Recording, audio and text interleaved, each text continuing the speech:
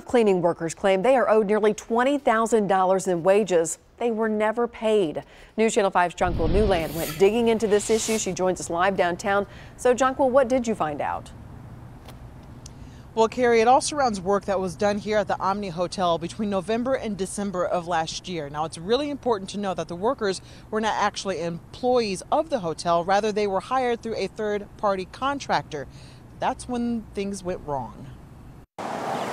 A wage battle is brewing between a contract cleaning company and about 17 workers who were hired to work the overnight cleaning shifts at the Omni Hotel, but they were never paid. Me siento eh, frustrado. It's very frustrating to see that this type of thing continues to happen, especially when workers, we get punished um, after completing our work without getting paid. Last week, through Workers' Dignity, the former cleaning employees delivered a letter to the hotel demanding they get paid the wages they're owed.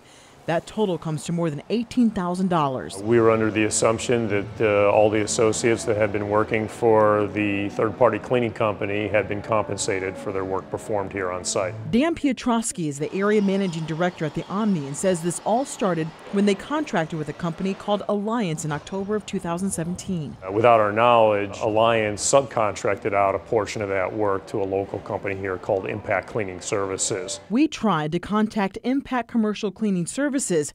Our calls were never returned, and when we visited the address listed on its site, well, we never found the actual address.